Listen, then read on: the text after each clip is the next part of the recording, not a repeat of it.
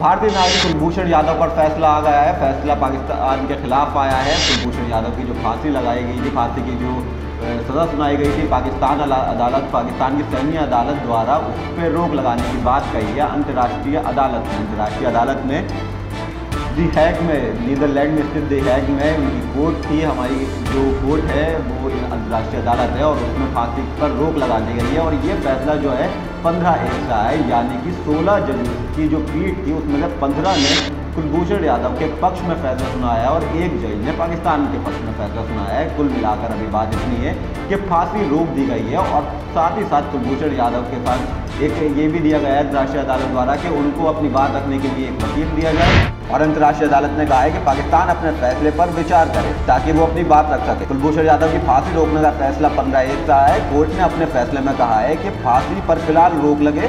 कुलभूषण को काउंसलर की इजाज़त दी जाए। मामले पर नए सिरे से सुनवाई होगी। कोर्ट ने कहा कि पाकिस्तान ने वेना कन्वेंशन का उल्लंघन किया है। कोर्ट ने कहा है कि कुलभूषण यादव के मामले में सुनवाई का अधिकार इस कोर्ट के पास है। कोर्ट ने भारत की उस दलील को नहीं माना जिसमें भारत ने कुलभूषण यादव को रिहा करने की मांग की थी। एक बार फिर से इस मामले की सुनवाई पाकिस्तान की अदालत में होगी। कोर्ट का आदेश है कि पाकिस्तान कुलभूषण यादव के फैसले का रिव्यू करे।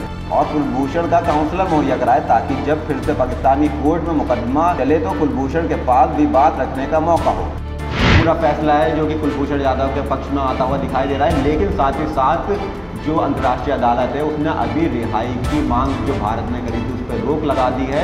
और ये पूरी जो बात थी, हमने आपको बताया पूरे मामले की, इसमें क्या चल रहा है? अगर आपको इसके लिए कोई राय है, कोई सवाल है, या कुछ भी पूछना चाहते हैं, या कुछ भी बताना चाहते हैं तो ज़रूर दें और अपनी राय ज़रूर दें कि क्या कुलभूषण यादव को रिहाई मिलनी चाहिए। हमें तो लगता है मिलनी चाहिए, भारतीय नागरिक है।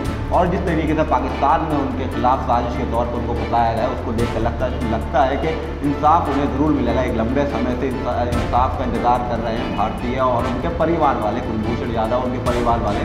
और साथ ही साथ उनको मिलने भी नहीं दिया गया, ये सारी तमाम बातें जो हमने आपको बताई। अगर आपको कोई सवाल या कोई राय है तो आप कमेंट बॉक्स में अपनी ज़रूर दिए और अगर वीडियो अच्छा लगा हो तो चैनल को सब्सक्राइब करें, वीडियो को लाइक करें और जिससे ज़्यादा से ज़्यादा शेयर करें।